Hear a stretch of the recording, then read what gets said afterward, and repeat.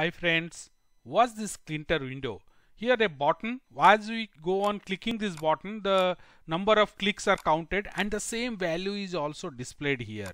And this we are doing it using the on click event of this button and we learn how to do this. This is a simple program. So this is the blank template we are using just a window of 400 by 150. We can just run and see the blank window here on this we'll place the button. But before that let's just create the, our variable count and we'll give the value as 0 this is where we'll be storing the number of clicks. Now mm, before next we'll place a button. We're giving a button. Now tk dot button. Now my parent window is my underscore w. It's line number 2 you can see we have declared it. So here it is. Now on this window we'll first give some default text. So because we will be changing the count so we are saying count equal to 0 so that's all. This is the default text appear when the when you run this program and this uh, text will keep on changing. So that is why then we'll slightly give some width also. Let's give width equal to uh, let's give around 16 and here click counts will write it so that is a better way of representing the number of counts. So you got it the width is 16 now next line will go and here we'll write command. What happens when we click this button? Command equal to lambda and we'll say my update. This function will be calling but we have so far not written that one. We'll write that. Then it's like background color or bg equal to we'll give uh, orange and slightly bigger font will keep it font equal to 12 you can change these values and as for your requirement. So now let's place this on a grid. B1 dot grid is the first element or only element. So we'll give row 0 then column equal to let's give 0 and pad x from the left edge how much gap we are giving. It's let's give more because no other component is there 100 and pad y equal to because height is less so we'll give 50 now that's all. Now this is just the have completed the layout. Now let's give the function.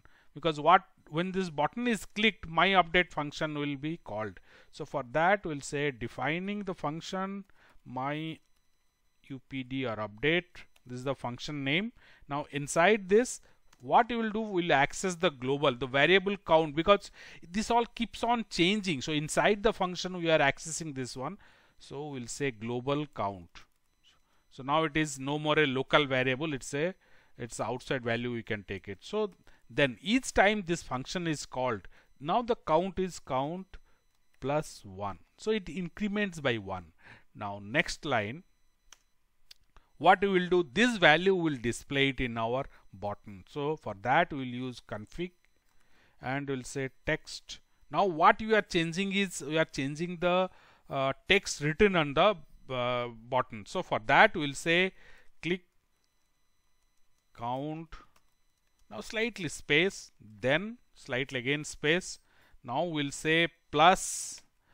Why we are plus this count is a integer. So to add it to a string we have to use the str and then count. So str count. So this will this value whatever the integer value 1 2 3 4 whatever based on the clicks that we are converting into a integer first then adding to the text and that we are uh, adding to another string here and that we are replacing as the text. So that's all. So this is our small code not very complex also. Let's just run it and see whether anything is wrong. Okay it has come up so button is there. Let me just click this. One to uh, as I am clicking every time I click this button this particular command here command is lambda my update this triggers this function. And inside this function count whatever the value of count is taken add it to 1 and then just replace the text same text uh, on the button. That's all. This was a small uh, program and it is useful to understand how the click event triggers a function so you can just download the source code. The link is there at the description. And if you have some doubts suggestion questions on this or any other thing you use the comment section below to post it.